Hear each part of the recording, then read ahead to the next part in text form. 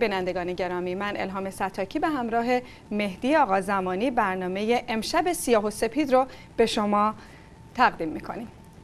من هم عرض احترام و ادب دارم خدمت شما خوبان بیننده و می‌خوام بهتون یادآوری کنم که دلیل استفاده از رنگ نارنجی در لباسی که پوشیدم مشارکت در کارزار جهانی هست که برای مقابله با خشونت علیه زنان از هر کسی خواسته که از رنگ نارنجی در زندگیش لباسش و هر چیز دیگری به مدت این 15 16 روزی که در جریانش هستیم یعنی از 25 نوامبر تا 16 روز بعد استفاده کنه. امیدوارم شما هم. چه از رنگ نارنجی استفاده می‌کنین یا نه مثل این خانم که استفاده نمی‌کنه از رنگ زرد مثلا استفاده می‌کنه اما یادتون نره که خشونت علیه زنان کار بدیه. بدیه. پس من باید از شما سپاسگزاری کنم که این کار رو دارین انجام میدین و با رنگ نارنجی دارین میگین که خشونت بر علیه زنان بده. بله. سپاسگزاریم. ما هم سپاسگزاریم از شما که به ما فرصت می‌دید با شما همراه باشیم. اما اجازه بدین از همینجا به همه دخترای ایرانی سلام کنیم. به همه دخترای خوب ایران عرض ادب کنیم. مخصوصا اون دخترایی که اسمشون الهامه و الان در این موج الهام گیر کردن. این الهام اون الهام به بعضی از الهاما الهام میشه. بعد یه دفعه یه الهامی در الهام بعد وقت اصلا؟ شما خودتون رو جای من بذارین الهام الهام. یه الهام هم بشه. چی. شده؟ سب کن سب کن. شلوغش نکن. چه خبره؟ چرا انقدر به الهام الان گیر دادی؟ مگه من میام به مهدی گیر بدم؟ هی برگردم بگم هی میگن مهدی بیا مهدی بیا. ظهور کن نمی‌دونم دنیا رو اینطوری کن دنیا رو اونطوری کن. اصلا گیر دادم ایشاخ به اسمت. ما انقدر در مورد مهدی هی میگن که نمی‌دونم ظهور کن و دنیا رو درست کن. خب چه درست نمی‌کنی؟ درست کن والا خواستیم نشد. بعدم تازه گفتن مهدی بیا نه گفتم مهدی بیا. ما رفتیم بعد گفتم با تو کار نداریم برو. ها با مهدی دیگه کار داشتم آره همون جوری که الان من با این الهام کار ندارم با یه الهام دیگه کار دارم که فکر می‌کنم همه فهمیدن صحبتمون کدوم الهامه. یه الهامایی هست که بهشون یه الهامایی میشه. بعد یه کارایی می‌کنن که اسمش خیلی بیشتر از هر چیز دیگه ای تملق و چاپلوسیه. راستی در مورد فرهنگ تملق و چاپلوسی خیلی حرف زدن و خیلی شنیدیم و گفتیم. خیلی فرق بین خوش زبانی اندیشمند بودن با برداشتن به یه اندیشه و ثابت قدم بودن روش تا فرهنگ تملق و چاپلوسی و یه الهامی که الان شده کلا نماینده تملق و چاپ حالا به خودت نگیره اصلا منظورم به تو نیست. همون می‌خواستم بگم الان این مرز کجاست؟ داری مثلا به در میگی دیوار بشنوه داستان چیه؟ تو فامیلیت چیه؟ ستاکی حالا فکر می‌کنی اگه فامیلیت میچرخید و احیانا یه دفعه می‌شد چرخنده سابق زهرایی فعلی اون وقت فهمیدی کیا میگم؟ فکر کنم همه فهمیدن با این همه... از من که گذر نه آخه همه می‌دونستم مشکل این بود که به تو این مسئله رو بالاخره خب حالا بابا بهش الهام شده اینم حسودی داره. می‌دونی ماجرا کجاست یه موقعی به آدم خدایا به ما هم یه الهام بشه که شاید مثلا به یه جایی برسیم. می‌خواستم به یه سر و سامونی برسیم. منظور ایشون از الهام می‌دونین یه سری چکا هست میفرستن یا پول نقده یا مقام و منصب و کار و اینجور چیزاست. خلاصه کلا خب فرهنگ تملق برای بعضی یه دفعه به چی فکر کردم؟ الان اینی که گفتی. ببین این از همون جایی که گفتی الهام شده بهش. این بهش الهام شده که این دنیا رو بچسب. اون دنیا خبری نیست. هر چی چک و مقام و پوله تو این دنیاست. بچسب زندگی تو بکن بی خیال اون دنیا. الهام. ولی در ظاهر چی؟ میگی اون دنیا. اما در اصل این دنیا رو داری الهام. فهمیدی؟ حالا چی شد؟ اصلا اون دنیا و این دنیا الهام چه الان به تو هم الهام شد؟ آره دیگه. تا یه ذره الهام این جدی نشده بریم سراغ اون یکی الهامه. از اونجا مستقیم یه سر بزنیم به سردسته اون الهاما. یه آقا هم هست که بدجور بهش الهام میشه. نگاه کنین برمیگردیم. اما بریم به سراغ بانوانی که از سمیرون اصفهان اومدن. و یه اتفاقی واسهتون افتاده مثل اینکه خانم الهام چرخنده مهمان شما بودن. درسته؟ بله. اتفاقا این سعادت نصیب ما شد که چند روز پیش الهام چرخنده بازیگر محبوب سینمای کشور به دیدن ما بیان و حمایت معنوی خودشون رو به ما اعلام کنن. نشون دادن. نشون دادن و ما احتیاج داریم به همچین الهام الهام چرخنده ای که اینجوری ایستادن و پشت ولایت رو خالی نذاشتن. من از اینجا ازشون تشکر می‌کنم. واقعا از حمایتشون تشکر می‌کنم. واقعا خیلی زحمت کشیدن واسه ما. بریم تصاویرش رو ببینیم. بریم ببینیم که چه اتفاقی افتاده و چه گذشته در این دیدار.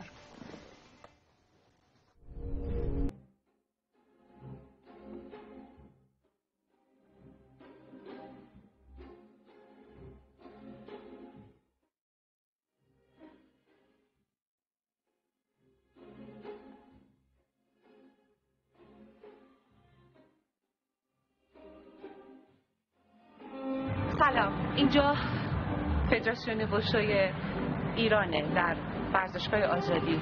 اما این بار ما نیومدیم که یک ورزش رزمی رو فقط نگاه بکنیم. اومدیم به دیدار دو خواهر. خواهران منصوریان که ملقب هستند به شیرزنان و قهرمانان ورزش های رزمی باشو این دو خواهر میرن و جایزه جهانی طلا رو دریافت می‌کنن. یکی از این خواهران صورتش موقع مسابقه تقریبا خورد میشه. اما قشنگی سنجاست این قهرمان پهلوانان و دختران شیرزن ایرانی هدیهشون رو به رهبرشون تقدیم می‌کنن. یعنی جایزه طلای جهان رو تقدیم می‌کنن به رهبر عظیم شن حضرت نور امیدوار هستم که نگاه ویژه حضرت زهرا به طور ویژه روی دختران ایرانی باشه. با من همراه بشین تا با هم بریم به استقبالشون و تشکر کنیم. به خاطر این نگاه قشنگشون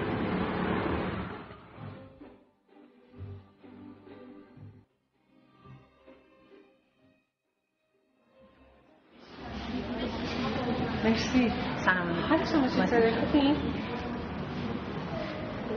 خواهران منصوریان اسمتون شهرهای منصوریان سهیل مهدی بهم بگو چرا جایزه رو به حضرت یک جایزه جهانی که آرزوی هر کردید به خاطرش کدوماتون صورتتون آسیب با این هجاب تونستیم مقام اولی کسب کنیم و به جهان جهانیان ثابت کردیم که ما همیشه پشت رهبرمون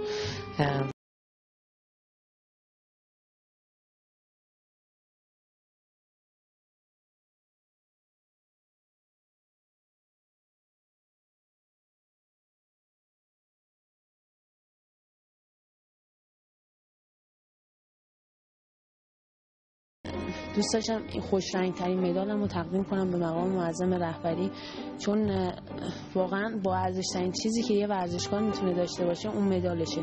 و برای تشکر از زحمات حضرت آقا این مدال به ایشون تقدیم کردم. من انقدر آکنده از لحظه های قشنگم پیش شما انقدر تمام قلبم داره میلرزه که نمی‌دونم واقعا چطور می‌تونم تشکر بکنم. فقط می‌تونم بگم که الهی همیشه باشین. سرزمین ایران احتیاج داره به شیرزنی مثل شما. لحظه اگر اجازه بدین چون فرمودین شما بسیجی هستین من می‌خوام که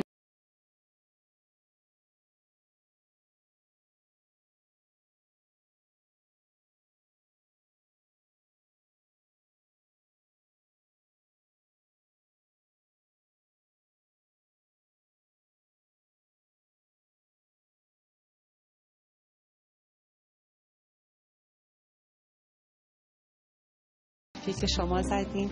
امیدوار هستم که این صحنه ها بتونه برای شما بانو و دختر ایرانی لحظه به لحظهش برای شما نشانه باشه برای شما الگو باشه. دوتا شیرزن قهرمان جهانی ما داریم که زیباترین رنگ جایزه جهانیشون رو تقدیم می‌کنن به رهبر کشورشون.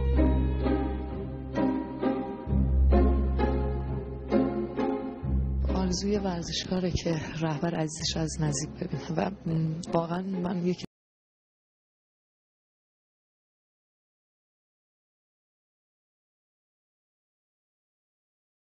زهرایی باشین و زهرایی بمانید.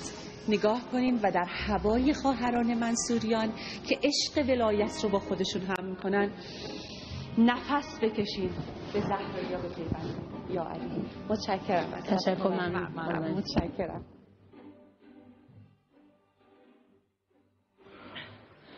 کلا ما انشالله که مدالمون اهدا کنیم بعد قهرمان جهان خودمون می‌بینیم.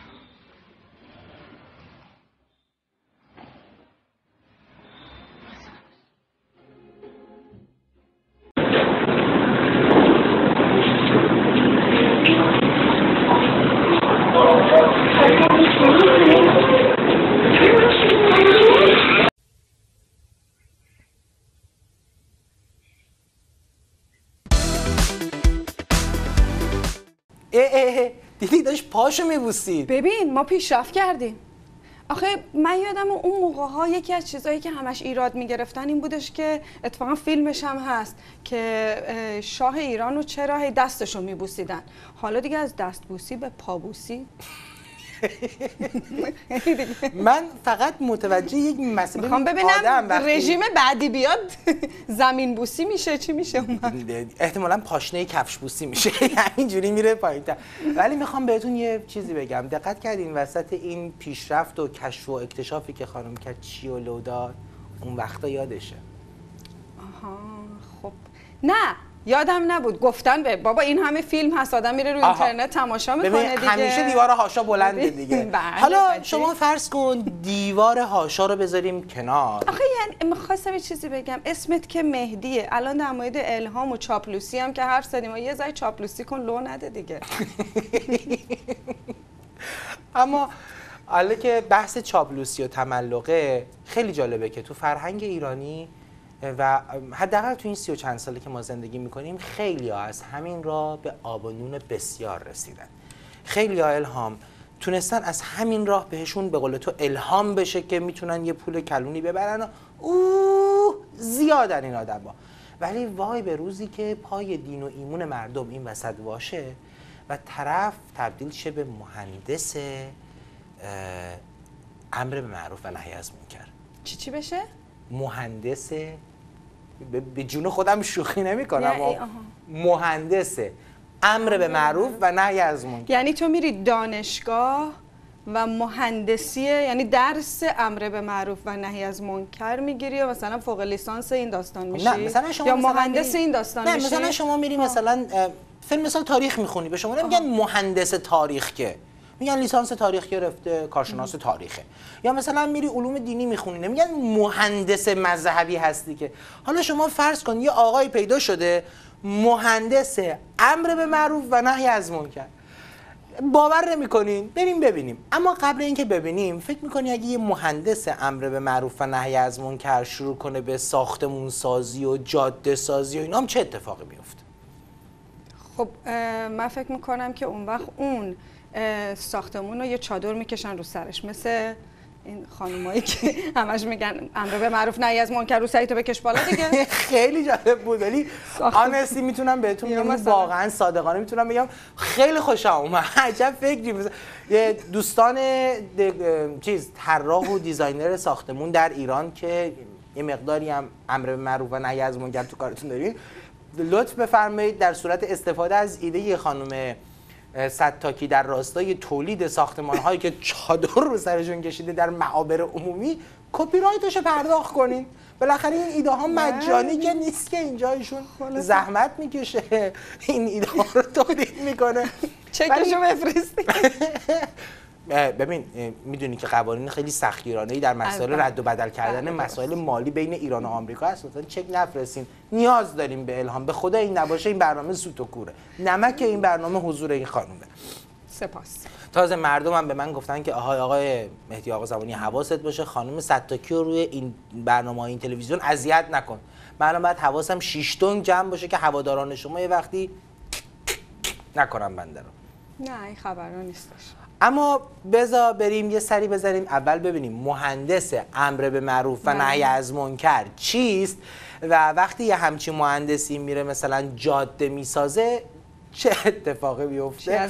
قابل توجه برادران محترم سپاه خب که به جای استفاده از مهندسایی که شایسته سالارانه می‌تونن یک کاری رو برای وطنشون بکنن از چاپلوسان و متملقین سیستمی استفاده می‌کنن که بیشتر بر اساس قربون صدقه یه آدم خاص رفتن. می‌دونی؟ الهام همون جاها میاد ها. می‌دونی؟ آره. از سوئد نمیاد از اونجا میاد. یه جایی حوالی خیابون پاستور و اینا تو تهرانه. خب؟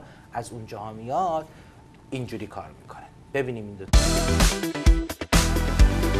یه بسیج که فکر کنم یه اتفاق خوب و خجسته بود.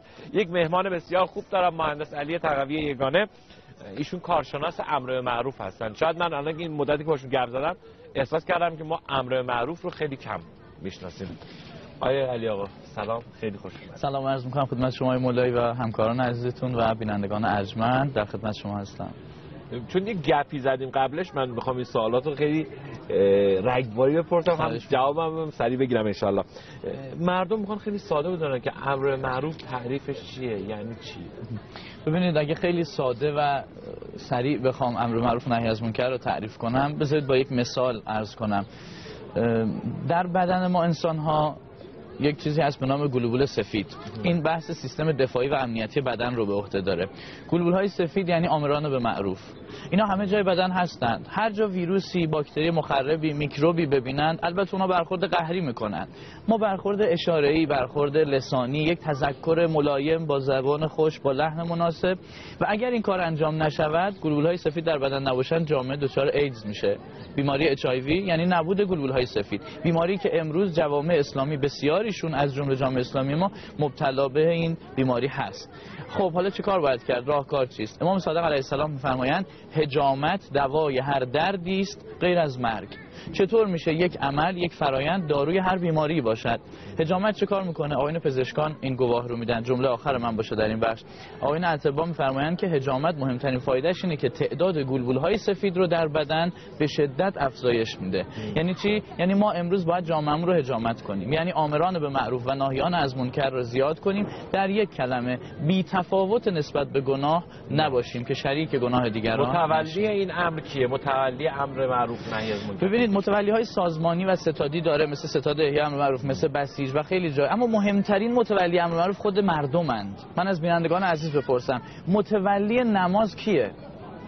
کسی غیر از خود مردم بالاتر از خود متولی روزه کیه؟ خیلی تلاش باید. بکنن. اما اونی که باید انجام بده مهمترین متولی امر معروف از منکر خود مردم به هستن 35 سال داریم از انقلاب میگذریم و میگیم واجب فراموش شده. بله. چرا؟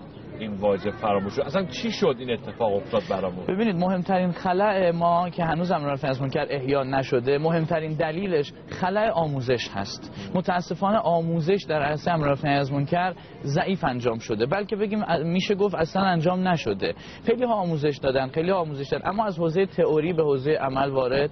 نشدن. فقط زبانی بود. فقط زبانی بله. روی این آنتن گفتیم. شما زحمت کشید همکارانتون ستادهای یا متولیان آموزش. اما اینکه حالا من در عمل وقتی مواجه با یک منکری میشم چطور کجا چگونه می‌تونم تذکر بدم؟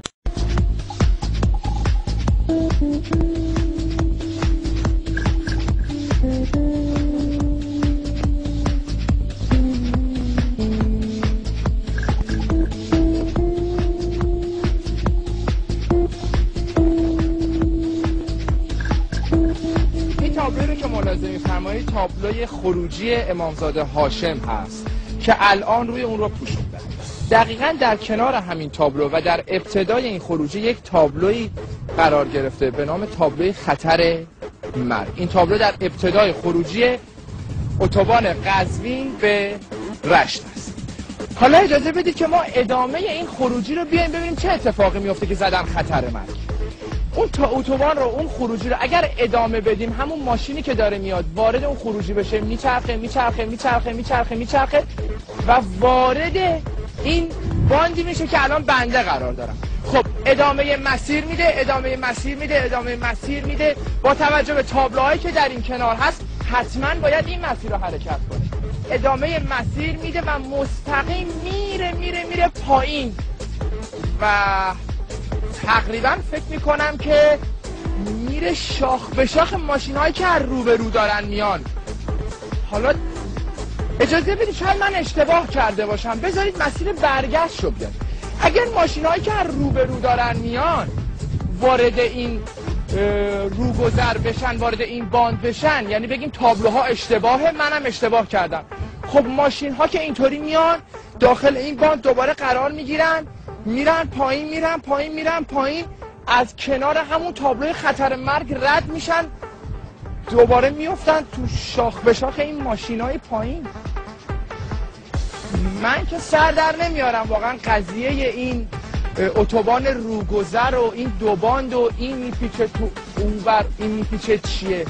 فقط خدا رو شکر که من واقعا مهندسی نخوندم. که واقعا اون وقت دردسر درست می‌شد. واسه جان مردم.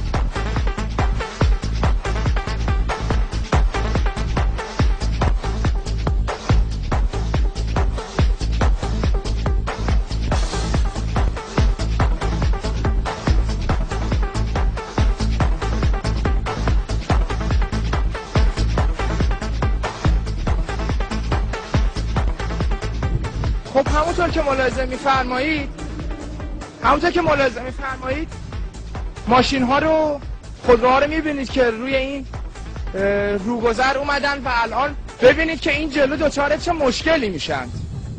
نگاه کنید. همش رو پشت سر هم دارن میان میان میان.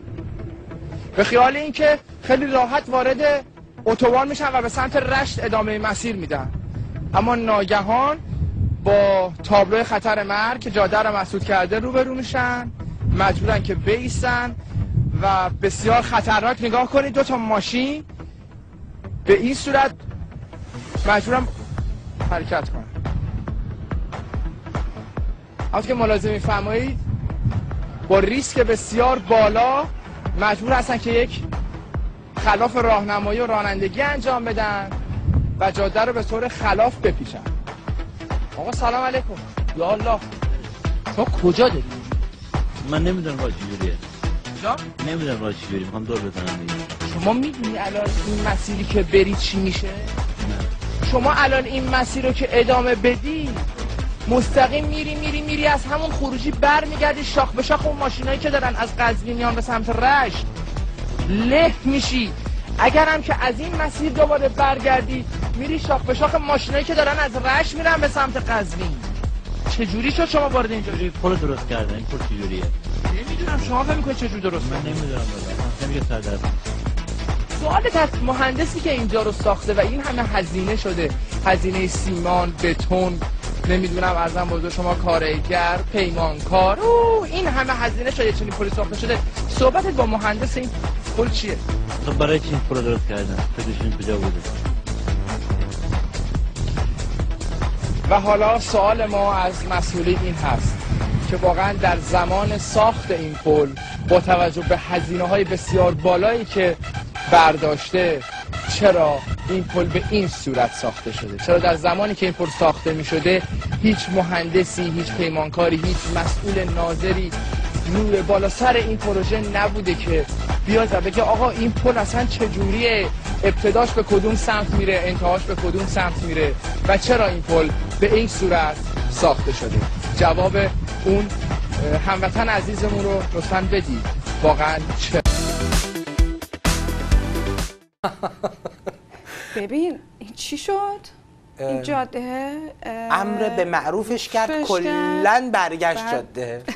آها این شد. یعنی وقتی که امر به معروف و نهی از منکر خب پس باید مواظب باشیم وقتی امر به معروف و نهی از منکر چون که می‌تونه همون اشتباه هم باشه. آره دیگه یعنی وقتی به- که یعنی وقتی که دارن بهت میگن یه کاری بکن شاید بندازن تو چاه.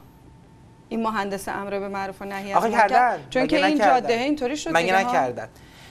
وقتی که نیروی امنیتیش میره امر به معروف کنه میشه اسید رو صورت دخترای اصفهانی. وقتی بسیجی از دهستان قطب آبادش میاد امر معروف کنه میشه چاقو که باسن و بدن دخترای جهرومی رو تو این چند روزه آسیب زده. و این داستان هم ساخته شده که میگن طرف اصلا مشکل روانی داره. و بعد خودش اعتراف کرده که خیلی جالبه. خودش اعتراف کرده که یکی از روحانی ها گفته که خون زن بدهجاب باید ریخته شه. مباهه. و من به وظیفه شرعیم عمل کردم. امر به معروف و نهی از منکر. دیگه. خودش داره میگه. یعنی وقتی خودش داره میگه بعدم بلافاصله برای اینکه گندشو بپوشونن گفتن نه این اصلا بسیجی نبوده. این اصلا مشکل روانی داره و اینا. اینم که میگن مشکل روانی داره می‌دونی به چه دلیل؟ باباش فرمانده بسیج قطب آباده در استان فارس و می‌خوان با این مسئله داستان این ها. داستان رو بمالونن به هم و بگن که خب این مشکل داشته دو هفته دو ماه شش ماه میره توی مرکز نگهداری از مثلا بیماران مثلا اختلال روانی اینا بعدم میاد بیرون سر زندگیشو هیچ هم نتونه بهش بگه بالا چشمت ابرو خیلی هم به فکر من و شما نیستن اینم جاده سازیش جاده دیگه. مهندسش هم که بره. اینطوری جاده می‌سازه آره. جان خودم به. جای امر به معروف و نهی از منکر بیاین خدا وکیلی کارا رو درست بکنین که نقایص فنی توی یه تونلی مثل تونل توحید زیر میدون سابق کندی میدون توحید الان تو ایران که بزرگراه اه، پارکوی بود میومدیم پایین. آره بزرگراه پارکوی یا چمران که می‌رسید به خیابون ستارخانه اینا رو رد می‌کرد. قبلا اسمش میدون کندی بود قبل انقلاب. به نام جان اف کندی رئیس جمهور آمریکا اسم گذاشته شده بود که بعدا به میدون توحید تغییر اسم پیدا کرد بعد انقلاب.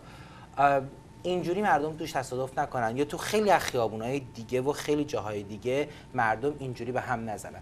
جای امر به معروف کردن خدا وکیلی بیایم کارا رو با یعنی بریم خودمون امر فکر. سلامت آقایون. مقامات مدیر گفتی گفتی مسئول نگیم نه چون مسئول, مسئول نیستن آخه خب یه ذره مسئول باشین بابا من اینم که منم. به خدا فقط چرخنده. آ ببخشید زهرایی. می‌دونی که اسمش عوض کرده. یعنی بهش گفتن که اون آقایی که الهام می‌کرده اون اسمش عوض کرده. گفته شما دیگه نچرخ. زهرا حالا؟ آره دیگه نچرخ. الان زهرایی باش دیگه. آها، الهام زهرایی. خیلی حالا ستاکی انیشون اشتباه نکنید منظور به ایشون نیست.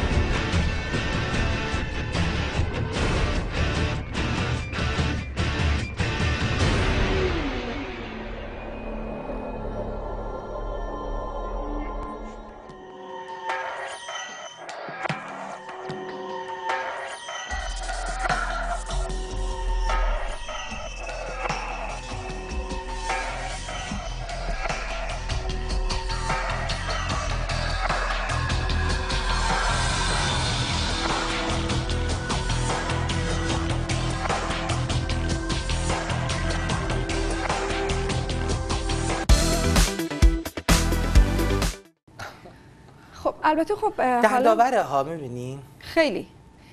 ولی من میگن که یه خورده حالا انقدر یه طرفه نیاییم اه، بتوپیم به سپاه و پاسدارا و نمی‌دونم مهندسین امر به معروف و اینا. اینا هم هست. این مهندس امر معروف خوب اومدی. اصلا شد یه واژه.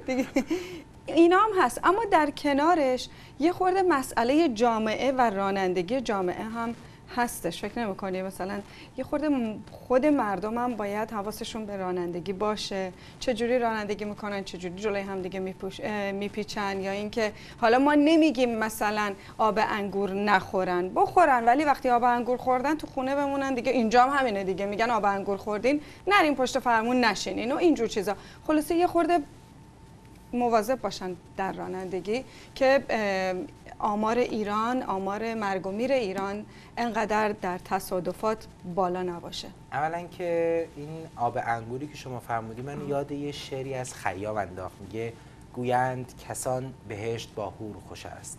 من می‌گویم که آب انگور خوش است. این نقد بگیر و دست از آن نسیه بدار. کاواز دهل شنیدن از دور خوش است. این دلم نیومد اینو نخونم. خب دیدی حالا تو. تو مثلا خیلی بالای دیپلمشو گفتی این نقد بگیر و دست از نسیه. بردار بپ- بدار. بدار. بله، بدار. منم خب گفتم بابا الهام چرخنده همینو گفت دیگه. گفت اینجا اون و خبری نیست. بهش الهام شده. خدایی من این نگاه تو خیلی شاهکار بود. یعنی صد بار الهام اینو گفتی که ادب است که آموخته از بیادب تو همیشه اینو هی به عنوان یک جمله جدی خودت مطرح می‌کنی. خیلی وقتا پشت دوربینم که هست. من خودم هیچ وقت از این زاویه به کار این خانم نگاه نکرده بودم و این زاویه که تو بهش نگاه کردی خیلی زاویه جالبی بود. خیلی. ولی به این دارم فکر می‌کنم که فکر کن مثلا بری خواستگاری بعد بگن به به احسنتم خب آقا داماد چی کارن؟ میگن که مهندس امر به معروف. یا تو دانشگاه چرا هشته درس خوندی؟ مهندسی امر به معروف الان دارم دکترامو می‌گیرم. دکترای امر به معروف. می‌گیرم. ولی گلا بابا با چاقو یا اسید یا کلا در کار مثلا ساخت و ساز و خیلی بده. و بعد بدبختی می‌دونی کجاست؟ اینه که اگه یه امر معروف واقعی هم وجود داشته باشه همونجوری که همکارم هم گفت اینه که ما سعی کنیم فرهنگ درست و دوستی و عشق رو ترسیم کنیم. یادمون نره به همدیگه بگیم که بستن کمربند ایمنی زامن جون و سلامتی ماست. رعایت حق تقدم سر چهار را زامن جون و ایمنی و سلامت خودمونه. و هزار تا نکته دیگه از این دست که وظیفه پلیسه. اما متاسفانه پلیس رو میشه با میشه با پول؟ رشوه؟ آها. ها. من میترسیدم بگم خدایی نکرده میگن جرمه به زبون آوردنش. ولی بد نیست. یه کلیپ ببینیم که چجوری میشه یه پلیس رو با- جرمه؟ کجا جرمه؟ قانونا جرمه. قانونا جو اه؟ آره. نه. نه؟ من نمی‌دونم. من نمی‌دونستم جرمه. من فکر کردم این مثلا اصلا جرم نیست. چون که خیلی عادیه. جرمه واقعا؟ آره بابا قانونا رشوه توی جرمه. ایران, تو ایران؟ همه جای دنیا جرمه. تو ایران هم نه جرمه. آره ولی من فکر می‌کردم تو ایران جرم نیست. چرا نه جرمه. قانوننش جرمه ولی خب. آخه اینطوری که بزنین یه سر بزنیم به یک کلیپ. البته بعد از اینکه از بیننده های امشب سپید و سیاه خدافزی کردیم بریم سراغ یه پکیجی که توی اون هم رشوه گرفتن پلیس رو ببینیم هم درد و دل مردمی که مجبور شدن رشوه بدن. ولی کاری ندارم ما. وقتی که بهش الهام میشه که اون دنیا کشک همه چی تو این دنیاست این اتفاقا پشتشه. اونی هم که اونجا نشسته برای اینکه کار مردم را بندازه باور نداره که کسی اون بالا هست که ناظر خوب و بد زندگی آدمه. و به این فکر می‌کنه که چرا من نچاپم وقتی همه دارن میچاپن؟ افسری که پلیسی که توی خیابونه باور می‌کنه که اگه من کلامو صفر نچسبم کسی اون بالا نیست که کلاه منو صفر بچسبه. ولی فقط من یه مسئله دوست دارم اینجا بهش اشاره کنم که فکر می‌کنم دردآورترین مسئله رشوه خواری در ایران هستش و اون هم جون جوون هاست که پشت میله های زندان به خاطر به لب آوردن نظرشون در ارتباط با مسائل مختلف یا جونشون در خطره و یا سالهای زندگیشون در خطره فقط به خاطر اینکه باید ببینن که خانوادهشون کدوم قاضی رو می‌تونه ببینه یا کدوم ملا رو می‌تونه ببینه یا نمی‌تونه ببینه و چقدر تو دست و بالش پول هست که واقعا زندگیش و جونش به این پولی که دست این پدر مادر بیچاره هست به اون بسته شده. اونجا خیلی دردآوره. بسیار عالی. پس امیدوارم که به بقیه برنامه های امشب رسانه افق ایران هم توجه بفرمایید و تا وقتی دیگر سپید و سیاهی دیگر همراه با الهام ستاکی خدا به امید روزها و شبهای سپید شاد و پیروز باشید. نگهدار.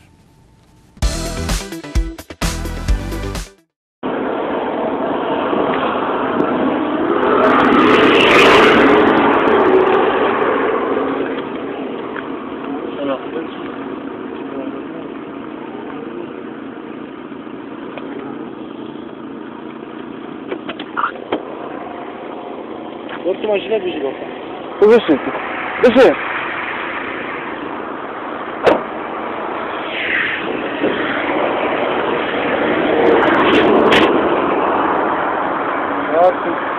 رسیدتو می‌گیرم جواب نامه رو میاری بعد نمیشتری این صاحب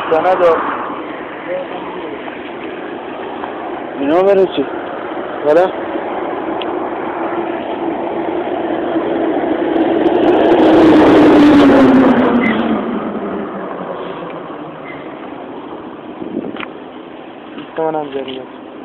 بله؟ منم جریمت اسمت چیه؟ مصطفی بچه کجی؟ یه سارا چکار کنم؟ یک تخویفی یه کارش کن من اگه نوشتم باید اینه اینه کارت تو با هم می‌گیرم نه که هم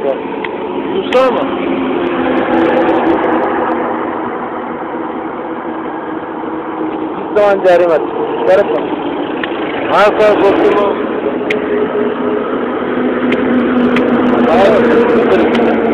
اون که ماشین بعد تا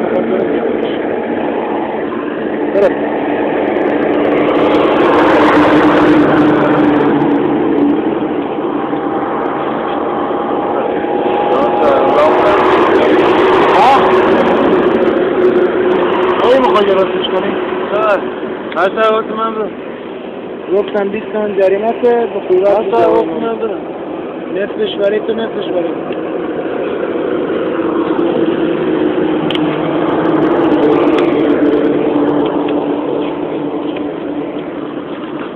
نه نه آره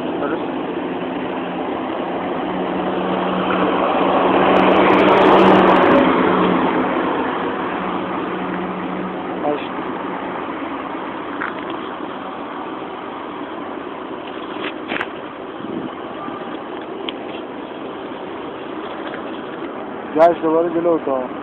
دیگه حال نمی‌خواستم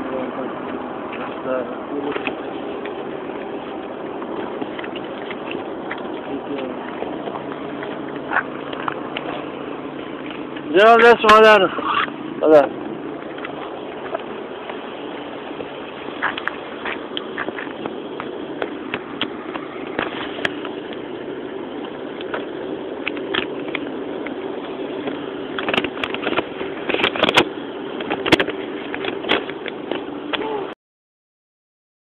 با سه تا ستاره یعنی می‌دونم سه تا قوه عزیزی که رو دوشش هست. این آدم چگونه می‌تونه با سیت هزار تومن زندگی بکنه؟ پس اون وقت لاجرم میره شرایطی رو ابداع می‌کنه و این ابداعات رشوه در ایران خودش خیلی نکته جالبیه. و این الان یه چیز روتینیه. نه عیب و ایراد می‌دونن نه رشوه می‌دونن. کارشناسی این.